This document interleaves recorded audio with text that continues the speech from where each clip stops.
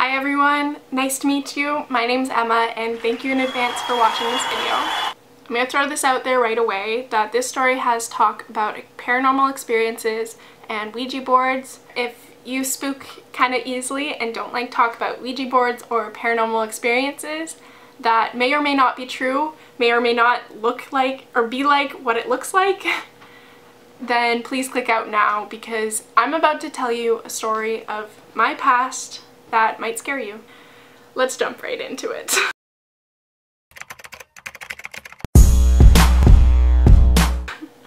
So a little backstory on myself. I don't necessarily know if I believe in ghosts or not, even though I had this experience. I think like my heart and soul tells me to not believe in it because there has to be some other explanation, there could be some other explanation, and it's never been proven to be true or real. It's just something that people are very interested in. Sometimes something looks like some one thing and then it turns out to be another. So part of me is still skeptical, even though after I've seen this. But the reason I'm not fully a skeptic is because this story scared the living crap out of me for a really long time and I I don't know how else I would explain it. And like I saw it with my own eyes. I don't know, when you see something that seems to be paranormal, it is very hard to close it away from your life shut that chapter and pretend it never happened. Because of what happened, there is another side to me that says um, don't mess around, that this is real, and if this is real, anything can be real. yeah, so I don't know. I'm conflicted. I don't know if I believe or not. For me to tell you this story, I think I need to go a little bit further back and talk about my mom. Throughout growing up, my mom has told my siblings and I a little story so this little story starts with a little girl. This girl looked to be about seven or eight years old and she was not alive. So my mom would see this little girl on the regular um, for a long period of time, like years throughout her life. I don't know when she started. I don't know my mom's first sighting appearance of her. I don't remember if she ever told me, if she, I don't know. But anyways, um, this little girl would watch my mom. She would just sit at the top of the stairs or stand somewhere and just watch her. Uh, my mom said that she didn't have any bad energy or bad feelings about this girl, that she just seemed like your typical kid who's playful and likes to keep an eye on you. So my mom was fine with it. like, just brave as hell. and um, my mom said she got so used to it that she would just continue doing what she was doing and let her follow I'm pretty sure my mom tried to talk to her a few times and there was nothing, no response or anything, so she just let it go and just let this girl watch her. Which, like what? so this little girl would do a few things to my mom over the years. She would play little tricks on her, specifically hiding things. One experience in um, specific that my mom told us is that my mom was looking high and low throughout the house for her car keys because she couldn't find them anywhere. Um, and she checked all the places that she would put them herself that she thought she would. Um, she just checked like obvious places too and she couldn't find them anywhere. And yeah, so I think she just went about her day and like used her spare key or whatever. Anyways, one day she came across her car keys. Yet they were wrapped into a tea towel. Like the tea towel was folded and the keys were in the center of it in our little like kitchen trolley that had our towels and stuff, which is really weird. I mean, there could be some sort of explanation. It could have been one of us kids playing a joke and we just didn't confess to it. and eh, it could have been accidentally folded in, I guess, which, I mean, you decide. It could have been. Like, I'm not saying it's not. But my mom said that in her heart, like, she just knew it was this girl because she had known her tricks. She had known what this girl liked to do for fun and was used to her by now. So she knew right away, like, it was her.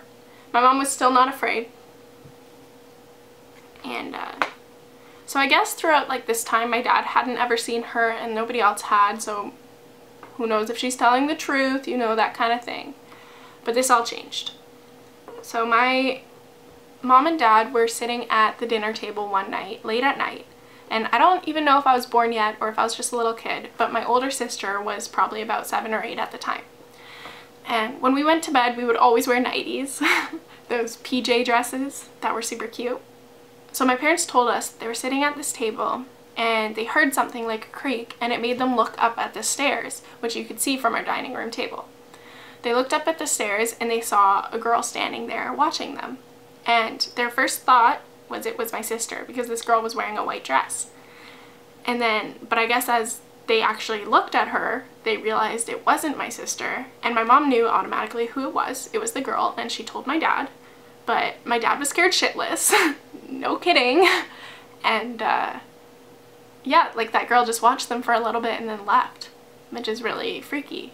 I, I don't know, I'd be scared and I don't know why she finally chose to show herself to someone other than my mom, but she did. And okay, little backstory on my dad. He's like this big, tough, skeptical man. you would never expect something like this to come out of his mouth. So this is another reason that I'm kind of like, mm, what the fuck did they see? um, anyways, sorry.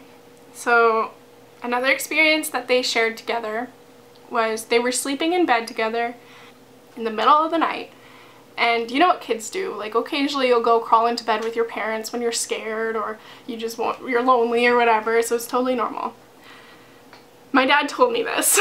so in the middle of the night, my mom and him both woke up at the exact same time because they said that it felt like one of us kids had ran and jumped into bed with them right in between them. like a hard jump.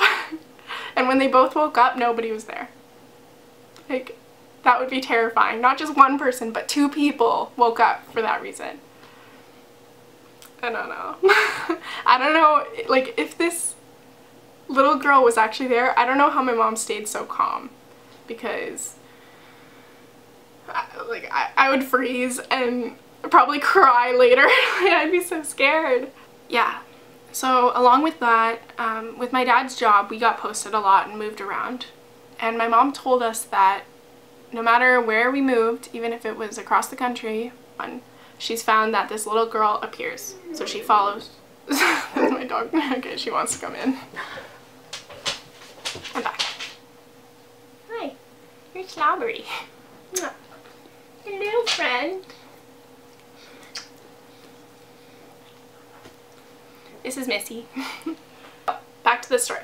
However, every time we moved, it took longer for that period because this girl would follow, but there would be a period of time where she wasn't around and then she'd appear again and she'd be there for good or whatever.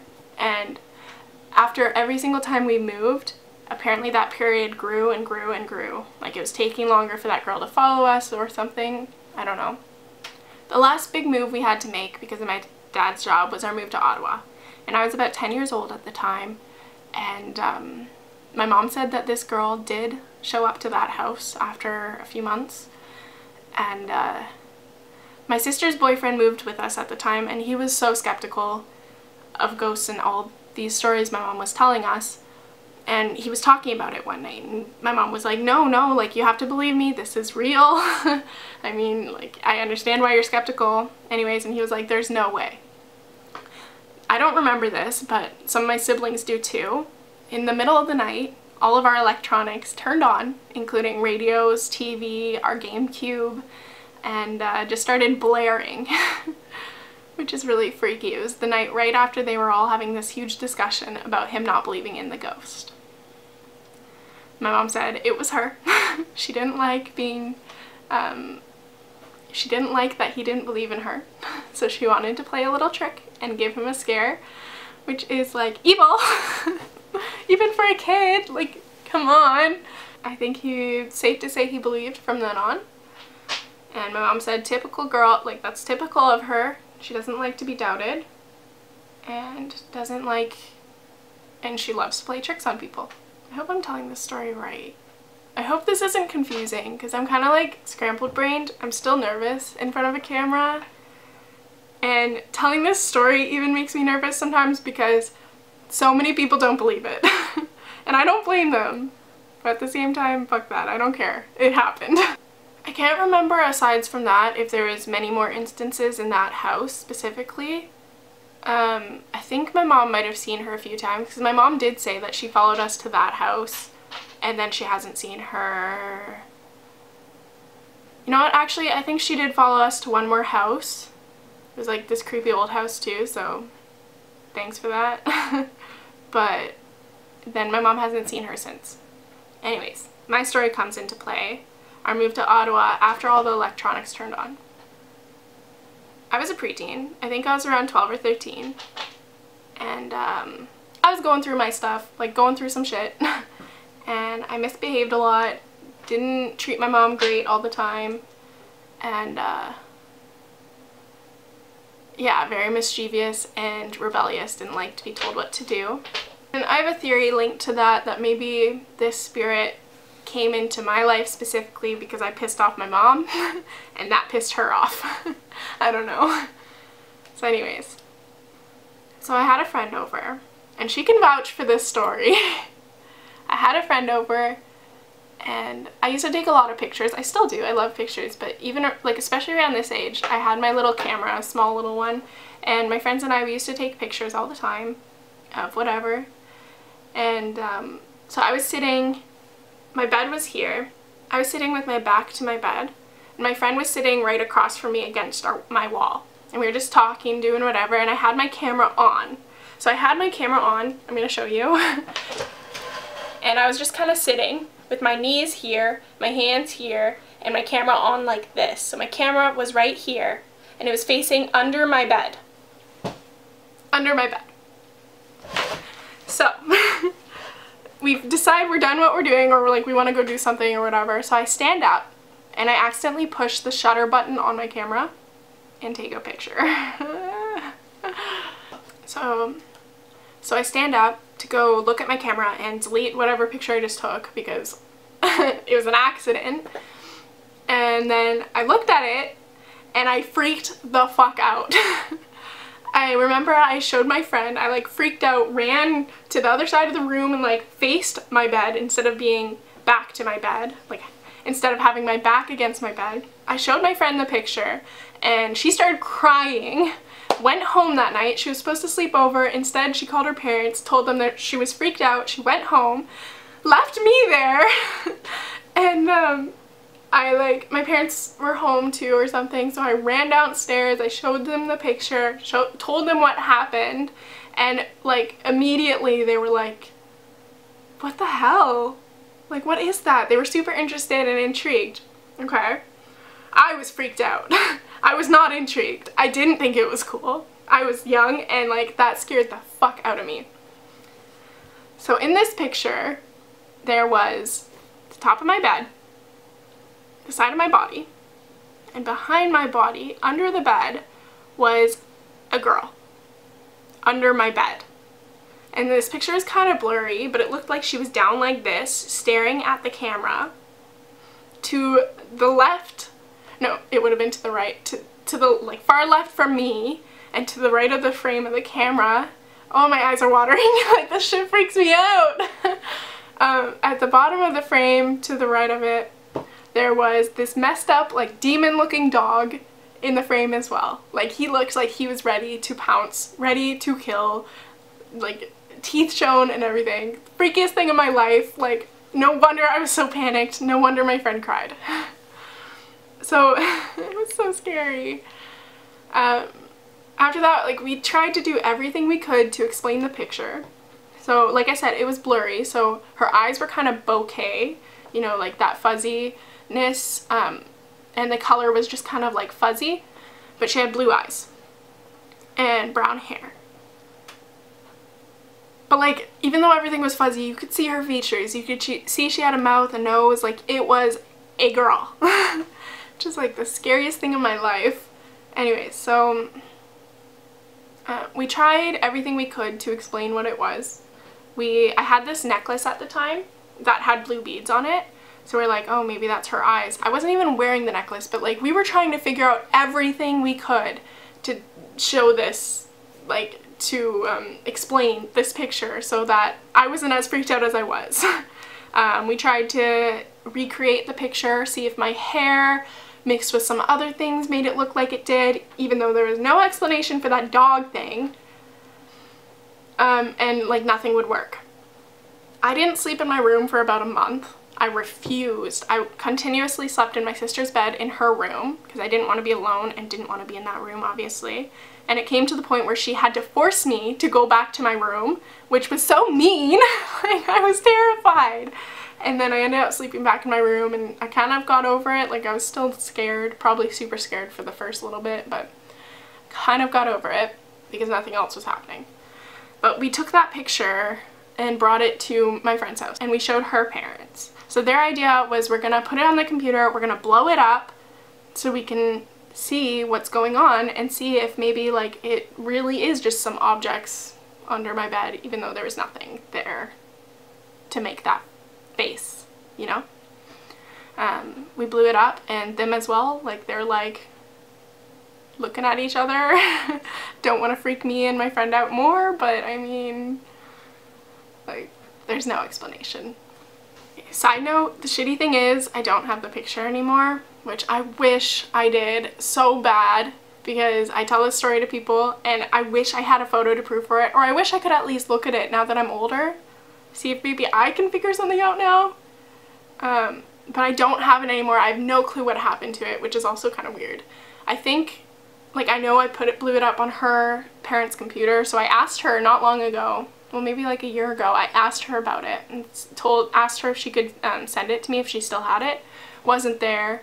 I don't know what happened to the memory card and like just the other day I was scrolling through my emails to see if maybe I sent it to someone because I was young and just used email then see if I could find it but like I can't find it there's nowhere to be found the only proof I can give you which isn't even technically proof but my family and I we have a group chat on Facebook and I'll show you me asking them if they knew where the picture was. I don't know if you can read that well.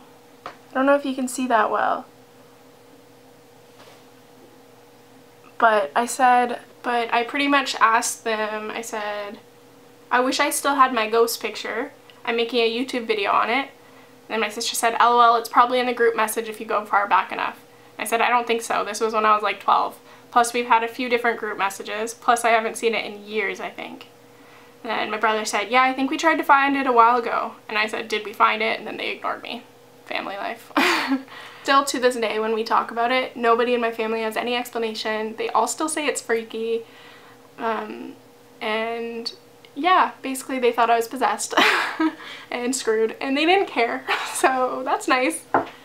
Um, anyways, so yeah, after that picture, I don't really know what happened after that, how I got over it or whatever. I do remember a little bit after that, like a while after that, I would say this picture actually probably happened when I was like 11 and then I started doing Ouija board when I was like 12 turning 13 and then 13 and maybe 14 too.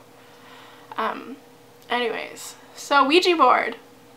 I decided to do the Ouija board with my friends at my house a bunch. Um, dumb decision, I know. we decided to do the Ouija board and there was three of us there, so myself and two other friends. Um, we would come home after school and hang out and go straight to the Ouija board all the time because we we had results. We thought stuff was happening and it was so intriguing and like addicting. Now I know it could have been one of my friends fucking with me. There's a huge chance, but I don't know. We, all three of us kept coming back time and time again. It wasn't like a one and done joke, you know? So we did the Ouija board. We did the Ouija board in my basement one time and it was really dark. We did it in our like boiler room. Is that what it'd be called? With our furnace and everything. Um, and yeah, like this creepy unfinished cobweb filled room. and we did it kind of like a seance. We circled the Ouija board with lit candles. I don't know why I was allowed to do this.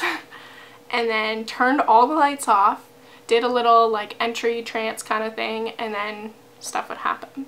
I think that was one of the first times we did it. While we were doing it, my mom has the audacity to flicker the lights.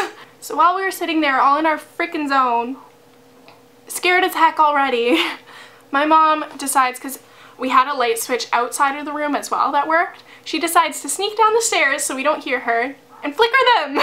that jerk! So that freaked us out, but she immediately told us after that it was her and like laughed and told everybody, blah, blah, blah. Anyway, so that was funny. It was fine. But we continued doing the Ouija board.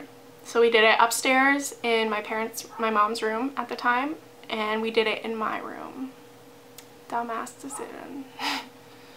yeah, we got quite a few responses on the Ouija board. Um, there was a few things said too that were like, I didn't tell my friends at the time about this. They could have been guessing because they knew about the guy.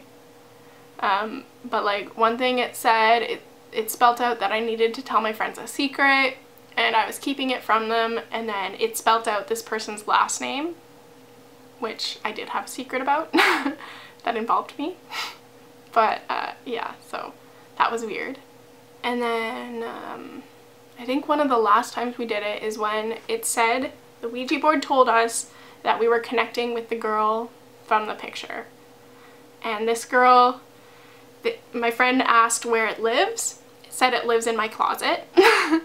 and then my friend asked if it likes me. It said no, ha ha ha. like what the heck? And um, yeah, it was freaky. And oh my god, it's just all coming back to me now. When we do the Ouija board, like I said, it could have been one of my friends. I'm sorry I keep repeating this, but I'm skeptical myself, even though like, uh, I'm back and forth. I don't know. When we would do it, we'd had our fingers on the planchette and it would go from H, A, H, A, H, A, H, A, H, A, H, A, super fast, ha ha ha ha ha, like, what the fuck? How scary is that? It's laughing at us. And then it would also go to 6, 6, 6, 6, 6, 6, 6, and then we would end it and like leave it alone for a bit. Freaked out as hell. Um, but yeah, so one time it told me that this little girl that was under my bed does not like me and lives in my closet. So my theory why she appeared and doesn't like me kind of makes sense to me because I was shit to my mom. Um, but then I talked to my mom later down the road and I was like, is this the same girl? Like, do you recognize her?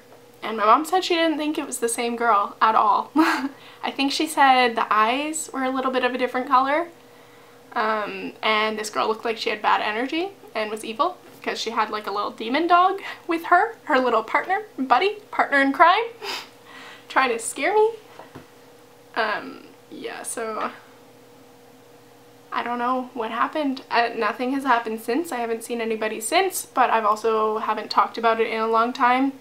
Tried to like ignore ghosts and all that for a while just because I don't know what's gonna happen. And it freaks me out a little bit. However, with that whole experience, I still don't know if I believe in ghosts or if that was still something that could have been explained easily and I just missed the explanation. But did we all miss the explanation? Anyways, that's my ghost story. Thank you for watching. And if you don't hear from me ever again, you know who did it. Okay? Thank you. Bye.